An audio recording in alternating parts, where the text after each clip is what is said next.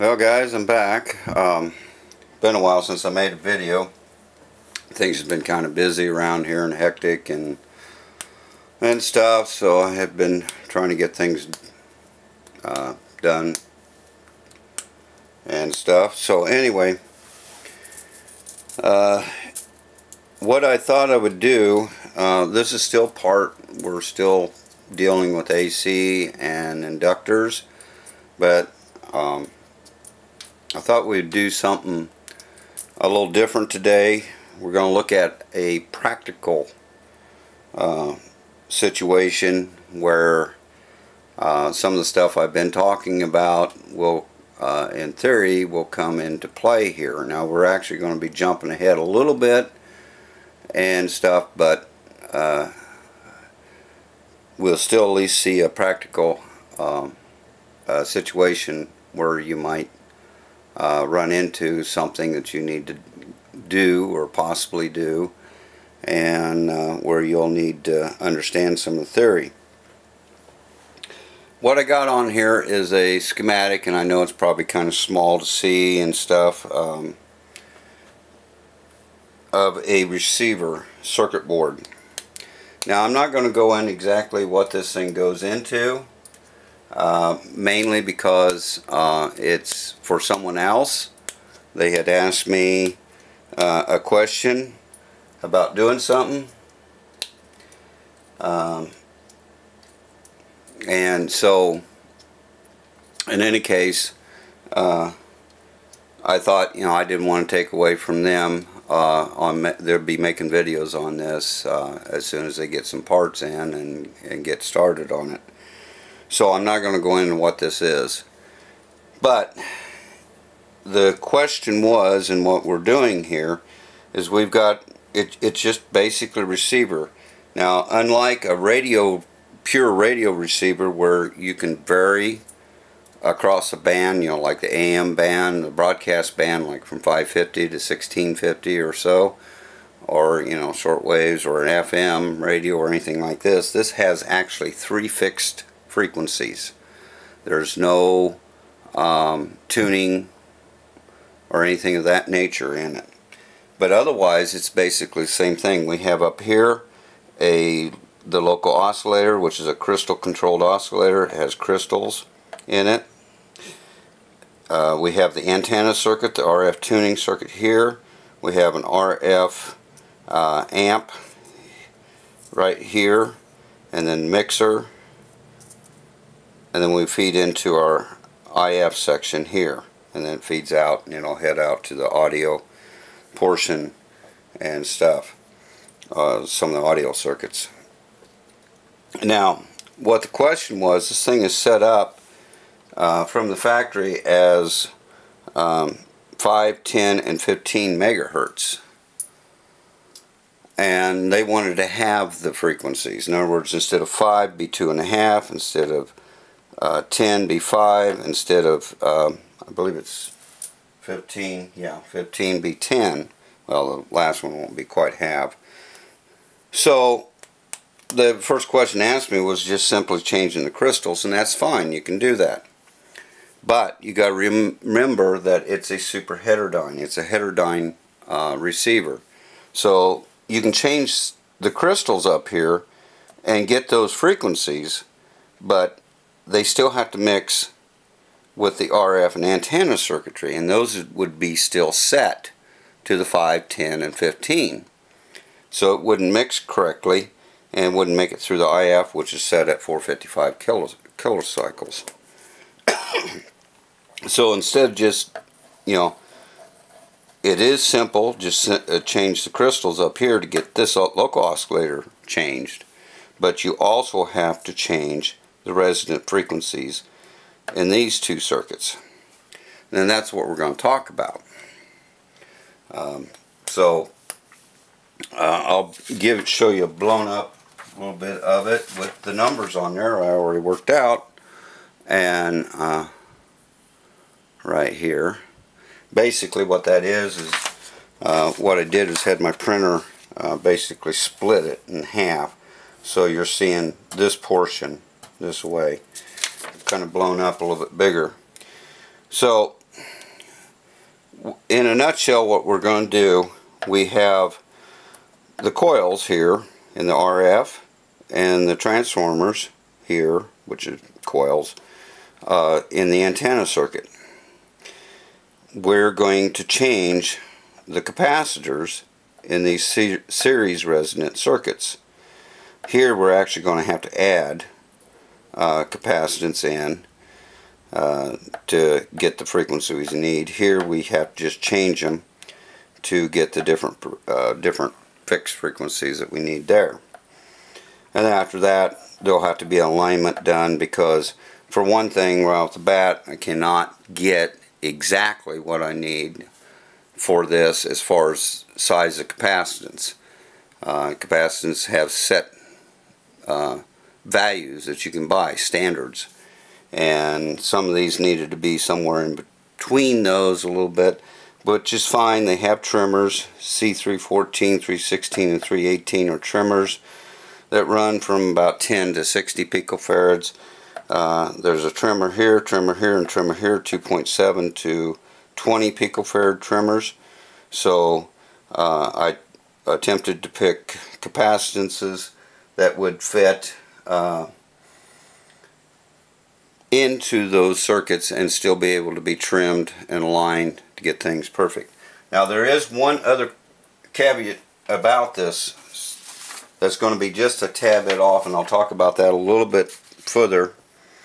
The two and a half megahertz, what was five megahertz, the two and a half megahertz, the crystal needed for that is not exact, uh, the exact value is not available. But it comes in close. You can get one that is really close. And what ends up happening is with making some adjustments to what I need to do with the front end and mixing that, it will be basically uh, off peak of 455. It will be running close to around 450, actually about 451 uh, instead of 455, which is fine. The bandpass on the IFs should be wide enough to easily pass that without any problems at all and will not cause any any noticeable effects. But you know that's sometimes the problems you run into when you're doing modifications. You may not get exactly what you're looking for. And the local oscillator, as a standard crystal oscillator, generally does not have any means of actual adjustment. But it's going to be well within the bandpass, and I'll talk about that in a little bit. Now, so before I get into this, it requires math. Okay, so before I get into this, I want to talk about the math that that we need uh, and where it comes from. So um, I think, yeah, let's bring this out a little bit. Focus. It's being stubborn.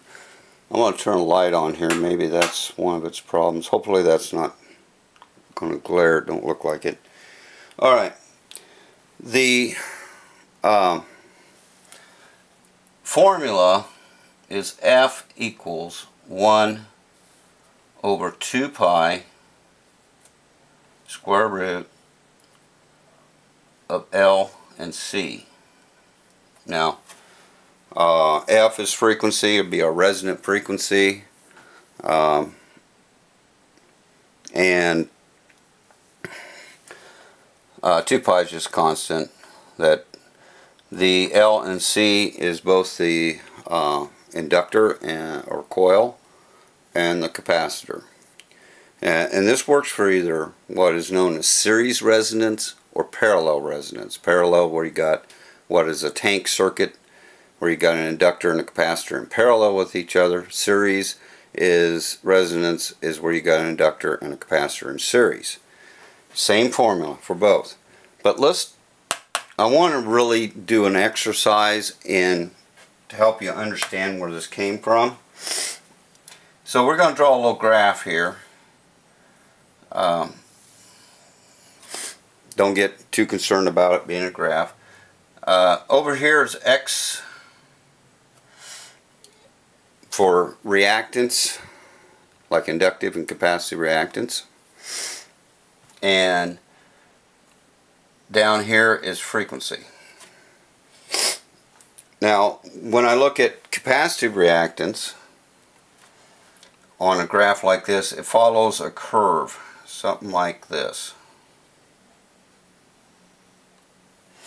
And it's called a natural log curve.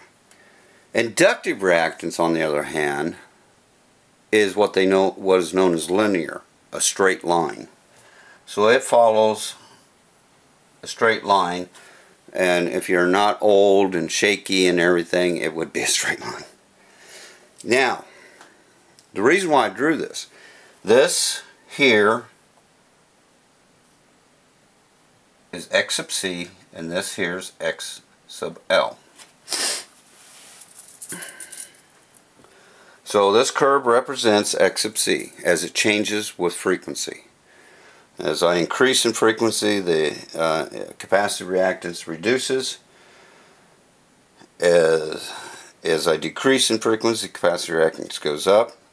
Inductive reactance has the opposite effect. As I increase in frequency, inductive reactance goes up. And as I um, reduce frequency, inductive reactance goes down. So, but there is one interesting point on here. When I want my resonant frequency, this frequency here, it is actually at this point.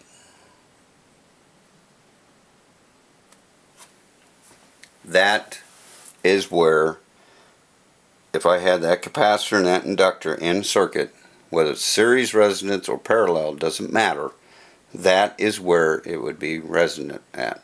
That would be the frequency. It's where the two actually meet.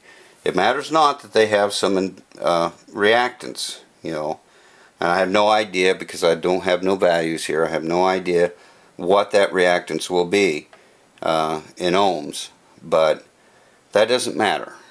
And we'll, I'll go into this a lot deeper later in this in the series on um, AC.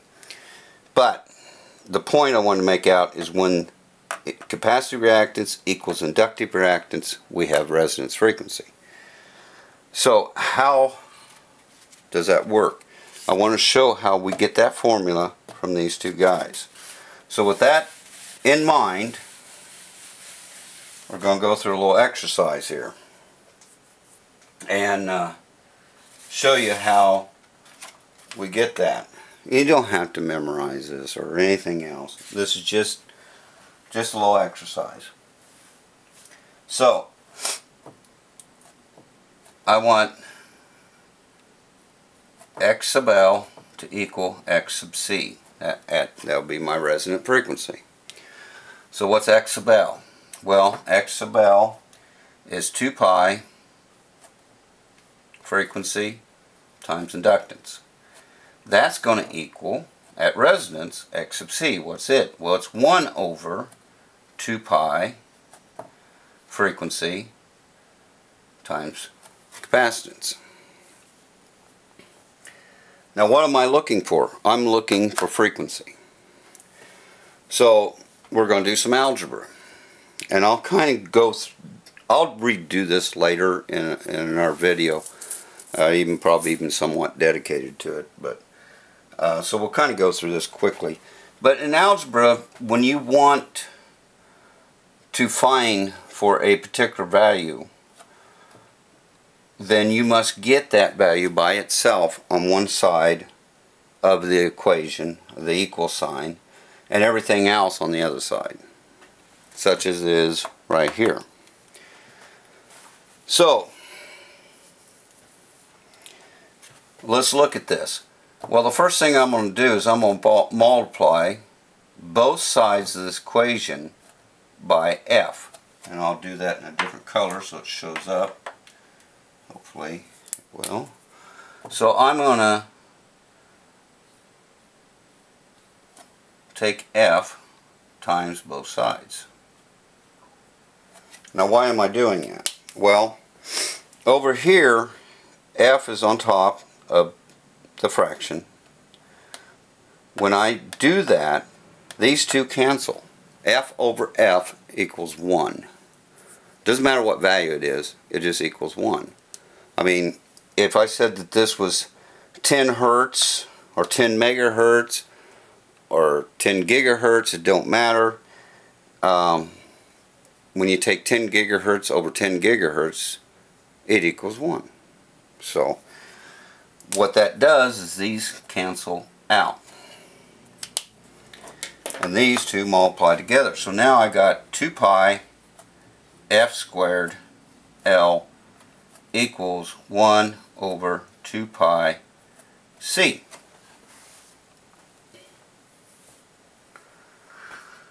Now we're going to jump a little bit here. Because now I want to get rid of these guys over here because I want this f squared by itself. So in this case, instead of multiplying like I did up here, I can divide by 2 pi L. And I will do the same thing here. I'll draw a line here. 2 pi L. The line just is a fraction showing that I'm dividing. Now, over here, 2 cancels, pi cancels, L cancels. What we end up over here. So, on this side, we're going to end up f squared. On this side, we're going to have 1. And if you remember your math from way back in school, when you divide by a whole number to a fraction, in other words, you take a fraction and divide it by a whole number, in other words, two, like the 2 pi L here, you flip and multiply. You can think of this as being like over 1 you just flip that and then multiply. So when I do that, then the 2 pi times, well, times this 2 pi, so I end up with 4 pi squared. I'll have L and then C. Okay, good so far. Kind of starting to look like this one up here. One last little thing. I don't want just f squared. I want it just by itself. So what I do is, again I'll use a different color here. Well, we'll draw it out first.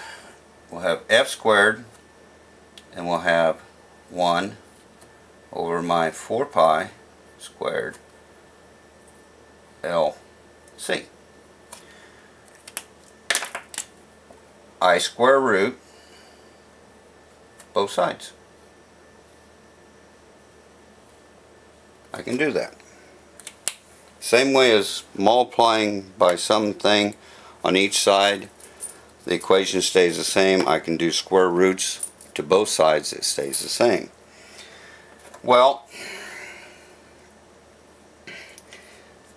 this side, we can make use of a simple principle in math. And that is with square roots. This actually equals, can equal, square root of 1 over the square root of 4 pi squared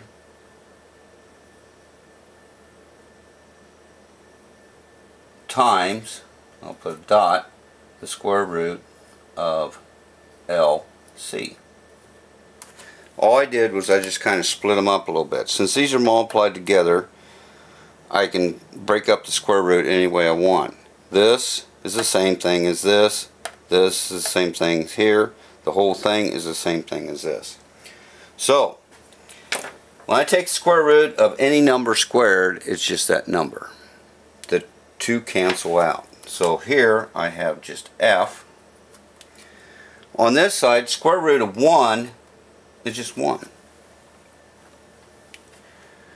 Down below, the square root of 4 pi squared. Well, square root of 4 is 2. Square root of pi squared, again, square root of any number squared is just that number. So I have pi. Now, I don't have anything squared in here, so I just got to leave it the way it is.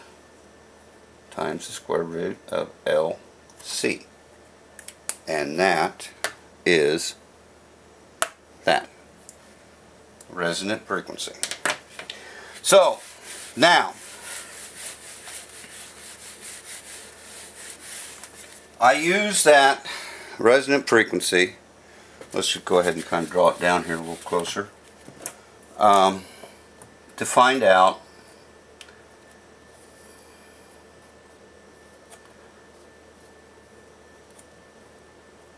what I needed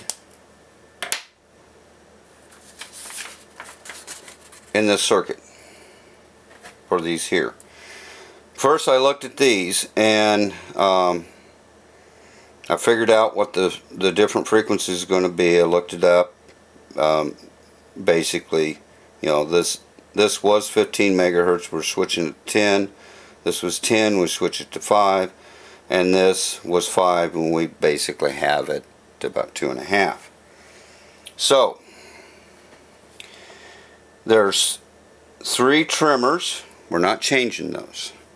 But there were three fixed caps in here that fit with these inductors or coils to make a series resonance following this formula. We had to change those. That's what I was going to have to figure out. Each, they were all the same size because the coils are different sizes. The coils work out, um, I believe, the this one here, the lowest frequency is a 15.5 microhenry.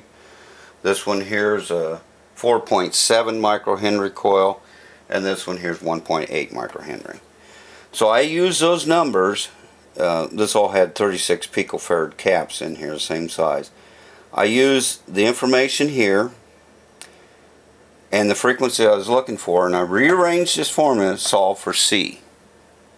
Now I won't do that right now but in a later video we'll talk about how to do that but it's not any more different than what I did start with uh, taking the initial two formulas and bringing out to solve for F. You just rearrange it and solve for C. So I rearranged the formula to solve for C and plug the numbers in. All I had to do is plug in frequency and plug in inductance and do the math. And I came up with uh, my different values here. Uh, see, this one ended up going to be a 250 picofarad. This one here a 200 picofarad. And this one 130 picofarad. So that took care of this circuit. Now again, like I said, these are not exact values what the math showed. You can't get them but it is within the realm of the trimmers to be able to align it to adjust these to get these right on pretty much should be on the money. Now over here all they had was just trimmers. So I had to add in incapacitance to get the uh, frequency we needed. So again we let's see the first one here up here would be 120 picofarad 200 picofarad and 270 picofarad and that would get the frequencies needed here within the tuning range. They're not again not exact values because you can't get exact values but the trimmers have enough room to adjust. So let's talk about adjustment here. How do you do alignment on this? Well, right off the bat, the first thing, all we're changing is this front end frequencies. We're changing the local oscillator, the RF, and the antenna. So IF alignment should be good to go. Shouldn't have to bother with it. Unless someone's messed with it, it should be alright. So, you do it like you would do anything any radio. Uh, this actually has no instructions for it because this board um, was a factory assembled and set to where it's at so they the factory decided that they you didn't need to make any adjustments to it. I will tell you this is out of Heathkit, okay? But it goes in something much bigger. So, simple. We know, the, the nice thing about this, we actually have fixed frequency, so we know what we're looking for. So, we need to put up something down this end, you know, a meter or something, to be able to tell when we peak. We feed a signal in here at the antenna.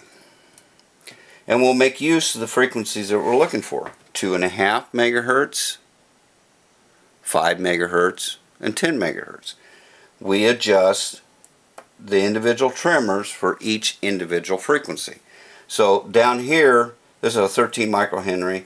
Down here is the first circuit that we're looking at.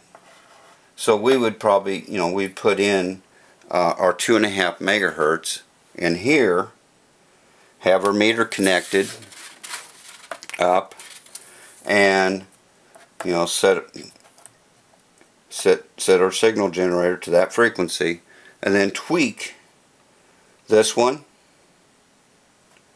and the two and a half here also. And actually, it'd probably be best to tweak this one first and then this one. Because you always go from the meter back. So tweak this one and then this one. Until you get that, you know, the greatest deflection on the meter, just like any other alignment. Do the same thing for the 5 megahertz adjustments and the same thing for the 10 megahertz adjustments. And then double check it go back to your 5 but this time you can actually feed that signal uh, either into this um, base here or into individually into each one of these at these points just kind of check these and come back and then check these but they should be pretty close now that's really all there is to it. Just the, the initial setup would be to put a, you know, feed into the antenna, use some sort of dummy antenna. Uh, um, with these frequencies, probably about a hundred picofarad or or something of that nature capacitor, and then um, connect your meter in here um, to measure uh, the output. And it, you know, it's going to be um,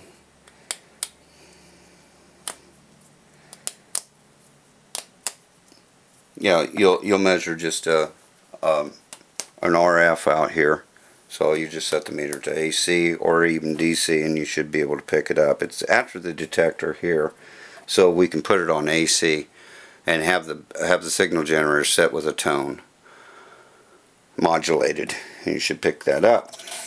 Now we're going to talk about that one frequency that's just a hair off because you can't get the exact crystal and, and about the IF. When you look at an IF response, again we're going to graph. So we got a graph here like this and the typical IF response will come in here pretty low and then slowly go up pretty steep and then pitch over and come back down.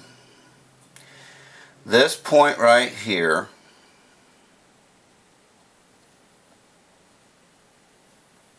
should be if you know when it's adjusted right this will be the uh, F sub R resonant frequency the bandpass of any IF is a point about right here this is known as the 3 dB down or RMS, about 70.7% from the bottom up of signal. That distance, that point there, which comes down here and comes down here. This distance here is the bandpass. For 455 kilohertz IF, generally the bandpass is around about, oh, somewhere in the vicinity of about 15 to 20 kilocycles um, as standard. Uh, that allows what what is known as the side bands to get through the IF so that you have good fidelity if it's on a, a radio receiver. So, and I have, you know, I've looked at these IFs and I don't really see any reason why they wouldn't be pretty much the same. So, the bandpass will be plenty wide enough. That 5 being about a little less than 5 kilohertz off is going to be up in here and a point up in this this area here so it's just a hair off from peak it's not going to be noticeable it will send through there will not be much uh, difference in signal strength through the IF section so it should be fine So anyway, like any of my videos, I yak and talk and gab and everything a little too long. But I wanted to show this and um, there will be videos on this thing when he gets the parts in. So um, uh, they'll be up. It's on art. It's Arthur Hollingsworth. It's who this thing belongs to. And um, he will be, um, it'll probably be on his new channel. If you guys haven't, uh, uh, the Beginner's Radio Workshop, or Workbench, I believe is the name of it. Anyway, that'll probably be where you'll see this. It won't be on his other channel. So, but look forward to it coming up and then you'll know what it is he'll explain what it is and everything and he'll uh, go through this and hopefully it works all right for him with anything like this uh, you're still limited to the the components you put in how tight tolerance they are and everything else. And then the, and that everything will work all right once you get them put in. Uh, electronics like any other engineering or any other technology uh, what shows up in the math is just a lot of times just a ballpark. And sometimes things don't always work out perfectly in reality so you may there's always the chance that adjustments may have to be made. But it should be uh, close enough for it to work. So anyway I hope you enjoyed this video. Uh, like I said this will be part of inductors. Uh, so it'll be part two. Part three we'll get into continuing on more with the um, talking about series and uh, inductors, putting them in series, putting them in parallel, and so forth and so on, and things like that, and uh, and moving on. Uh, so if you like this video, give it a big thumbs up, and if you um, have not subscribed and you enjoy uh, theory and watching videos on theory, uh, mostly it's usually tube theory. I know this is a solid state unit. Uh, but uh, most time I do just tube theory. So if you're interested in stuff like that, as well as I do, um, I got videos and I will be continuing doing videos on actually restoring uh, stuff. So uh, if you like those kind of videos and you have not subscribed, please subscribe and then you'll um, know when I put up a new video. So again, guys, thanks for watching, and uh, and uh, look forward to the next video. And you all have a good uh, a day today and, and the rest of the week. Thanks again for watching.